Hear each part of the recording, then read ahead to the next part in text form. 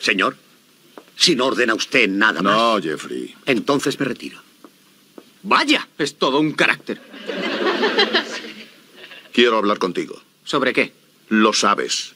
Desde que has entrado en esta casa no haces más que destruirlo todo, destrozar lo que tardé mucho en construir, enmarañándolo todo con tus impertinentes engaños. Eh, repite a partir de enmarañándolo. Ya sabes a qué me refiero. Deliberadamente me pusiste en ridículo esta noche y no lo soporto.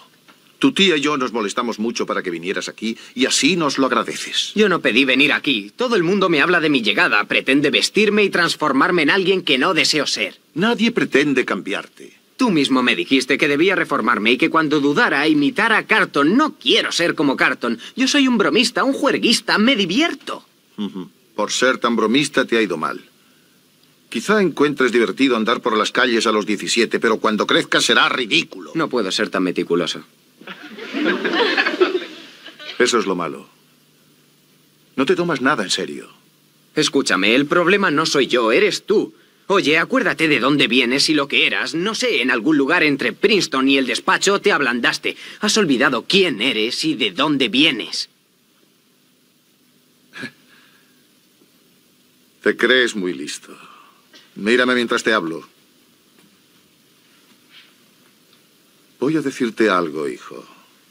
Me crié en las calles igual que tú. Encontré fanáticos como no te imaginas. Tienes un bonito póster de Malcolm X en la pared. Yo le oí hablar. Leí cada palabra que escribió. Créeme, sé de dónde vengo. ¿De verdad oíste hablar a Malcolm? Así es. Antes de criticar a alguien, debes averiguar quién es. Mañana seguiremos hablando. Me voy a dormir.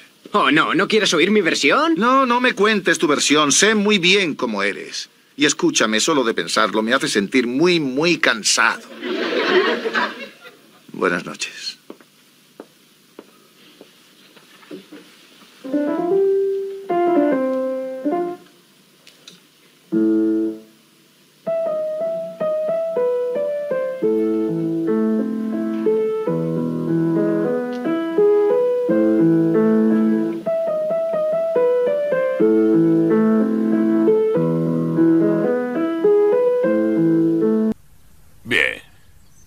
Le llamaré. Sí, es lo que debes hacer. Sí, lo haré. Hola, papá.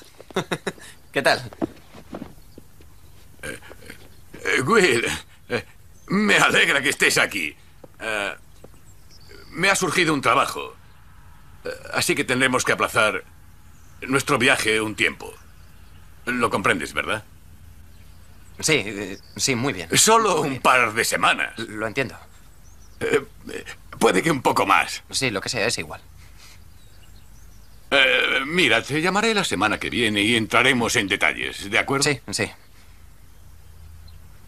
Me he alegrado mucho de verte, hijo. Yo también. Lu.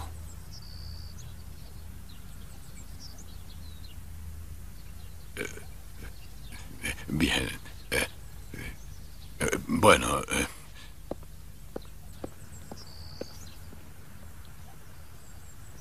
Lo lamento, Will. Ah, en realidad me viene muy bien. En verano las chicas vienen a clase ligeritas de ropa, ya me Will, es sí. lógico estar enfadado. Eh, ¿Por qué iba a estar enfadado? Por lo menos esta vez me ha dicho adiós. Pero ojalá no hubiera tirado el dinero comprando este estúpido regalo. Lo siento, si hubiera algo que. algo que pudiera hacer. Eh, mira, tú no tienes que hacer absolutamente nada, tío Phil, porque ya no tengo cinco años, ¿verdad que no? Y, ya no voy a pasarme todas las noches preguntándole a mamá cuándo va a venir papá. ¿Y a mí qué? Él no me enseñó a encestar mi primera canasta, pero yo aprendí, ¿no? Y no se me ha dado mal del todo, ¿verdad que no? Sí, es cierto. Y también salí con mi primera chica sin él, ¿verdad? He aprendido a conducir y a afeitarme, he aprendido a pelear sin él. ¡He celebrado 14! ¡14 cumpleaños sin que él ni siquiera me enviara una postal! ¡No te necesito, me oyes!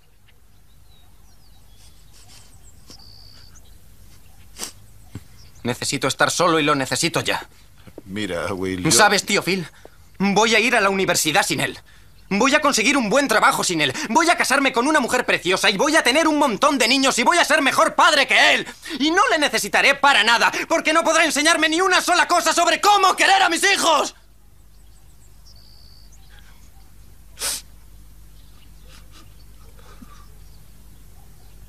Pero ¿por qué no me quiere? Hijo.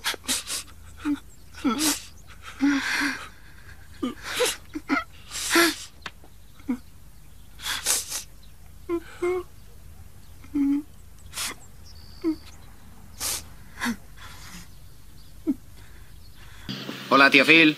Will, ¿qué tal, mi sobrino favorito? ¿Me hablas a mí? Tengo algo para ti. Lo guardaba para tu graduación, pero después de lo que has hecho, voy a dártelo ahora. ¡Wow! Entradas para el básquet. Eso es, silla de pista. Ay. No puedo aceptarlas, tío Phil. Tengo que decirte algo. ¿Qué es? Esas píldoras que Carton tomó salieron de mi taquilla. ¿Cómo? Tío Phil, yo solo las guardaba por si las iba a necesitar.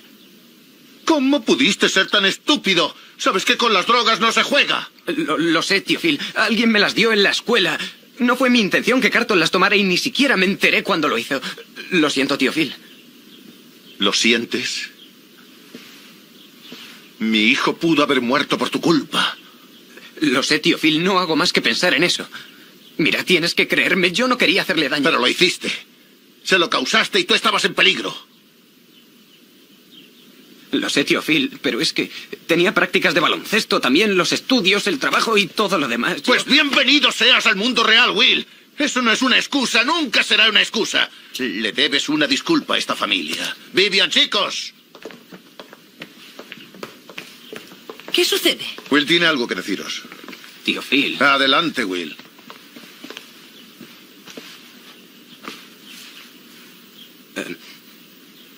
Las píldoras que tomó Carton estaban en mi taquilla. ¿Qué? Lo siento, tía Viv. Se, se me juntaron las prácticas de baloncesto con los exámenes finales. Y un tipo en la escuela me las ofreció para mantenerme despierto. Y, y luego Carton... Mira, no es más. No es más que alguien muy próximo a mí, a quien quiero un montón, y que ahora podría estar muerto. Lo siento, tío. De verdad. Lo siento. Ven aquí, hijo.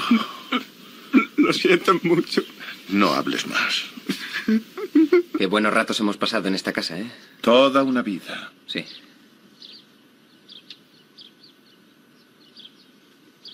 ¿Estás bien? Sí, sí, sí, sí. No, estoy bien, tío Phil. Escucha, cuando llegué por primera vez aquí, no era más que un pariente. Y estos últimos seis años es como si hubiéramos sido una familia. Y no quiero volver a ser un pariente más. Yo he vivido sin padres, sin hermanos, sin hermanas y todo eso.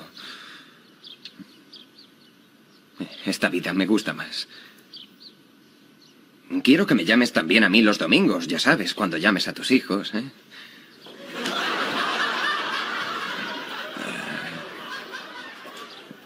Te quiero, tío Phil, y no quiero perderte a ninguno de vosotros. No nos vas a perder. Tú eres mi hijo. Y, no hay más que hablar. Y más te vale estar pegado al teléfono los domingos.